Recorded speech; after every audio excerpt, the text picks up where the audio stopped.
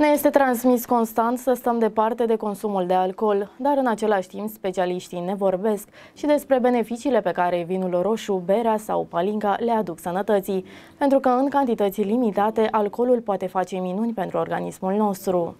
Nu doar vinul roșu și berea au proprietăți curative, ci și țuica sau pălinca. Aceasta are proprietăți de tratare, ameliorare și prevenire a unor boli. În funcție de concentrația de alcool, țuica este obișnuită, cea care are în jur de 24-28 de grade, țuică bătrână de 32-48 de grade și horincă în jur de 50-55 de grade. Cert este că nicio țuică nu coboară sub 24% concentrație alcoolică, băută în cantități moderate, mai exact un păhărel pe zi. Licoarea poate face minuni pentru sănătate. Consumul unui păhărel de țuică este recomandat mai cu seamă înainte sau după ce consumăm mâncăruri grase. Licoarea are efect asupra digestiei și a metabolizării grăsimilor. Oamenii de știință americani au descoperit în țuica de prune sau în pălincă o enzimă care reduce depunerile de colesterol de pe vasele inimii. Prin urmare, dacă bei zilnic 32 de ml de țuică de prună sau pălincă, vei ține la distanță distanță bolile de inimă cauzate de arteroscleroză. Ideal este să o consumi înainte sau după prânz sau înainte de cină pentru a da un impuls sistemului digestiv fără să te afecteze în alt mod.